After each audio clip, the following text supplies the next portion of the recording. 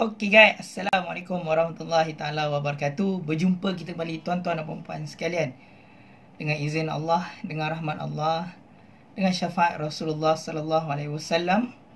Hari ini kita berjumpa dalam channel saya Captain Alam. Tuan-tuan dan puan sekalian, hari ini mungkin ramai yang bertanya-tanya.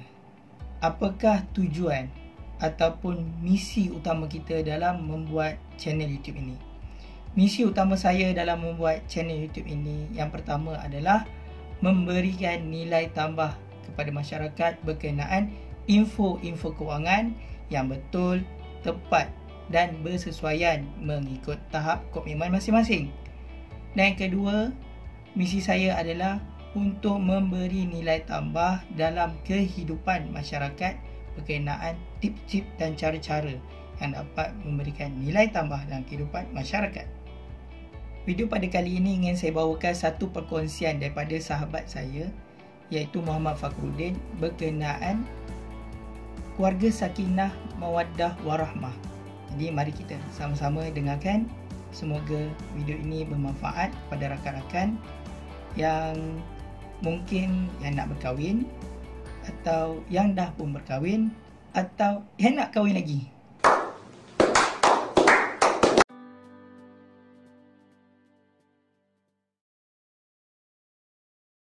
Yelah berkaitan tentang perkahwinan ni. Aku faham. Semua orang Inginkan pasangan Nakkan berumah tangga Ada keluarga sendiri.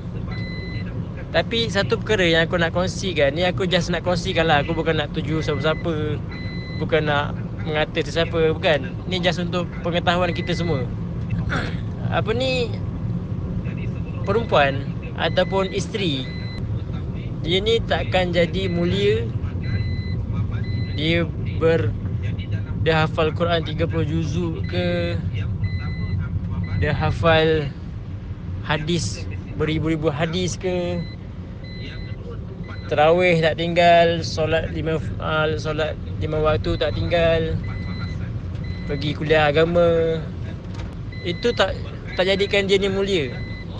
Sekiranya dia bermasa muka dengan suaminya dia ingkar dengan suaminya dia tinggikan suara dengan suaminya.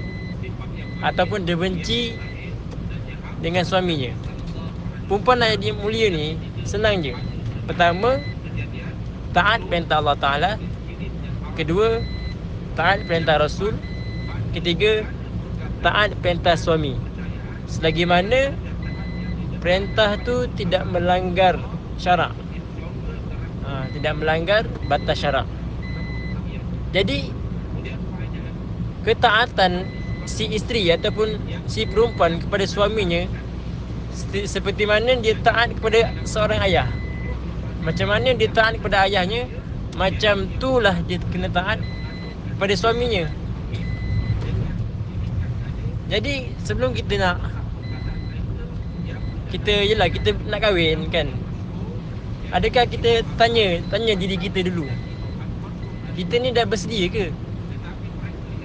Dah ada preparation Untuk Melalui Kehidupan yang berumah tangga.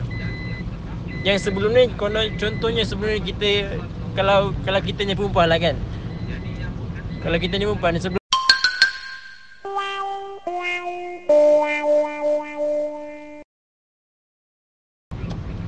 Jadi kat situ kita kita tanya diri kita, kita sanggup ke kalau suami uh, nak taat dengan setaat-taatnya kepada suami kita? Perintah Allah, taat perintah Rasul, taat perintah suami. Ni je perkara yang akan menyebabkan perempuan tu dipandang mulia. Kalau dia taat perintah Allah, taat perintah Rasul tapi tak taat perintah suami, dia ni tak anggap mulia. Walaupun dia ni bertuduh labur ke, berfudah ke, hafal Al-Quran 30 juzu. Belajar belajar agama dekat Jordan dekat Yaman. Tapi dengan suami dia memasang muka. Dengan suami dia kurang ajar. Dengan suami dia tinggikan suara dia. Bila suami tegur ni tak nak ikut. Bila suami cakap ni tak nak dengar. Tu terjadikan dia tu mulia.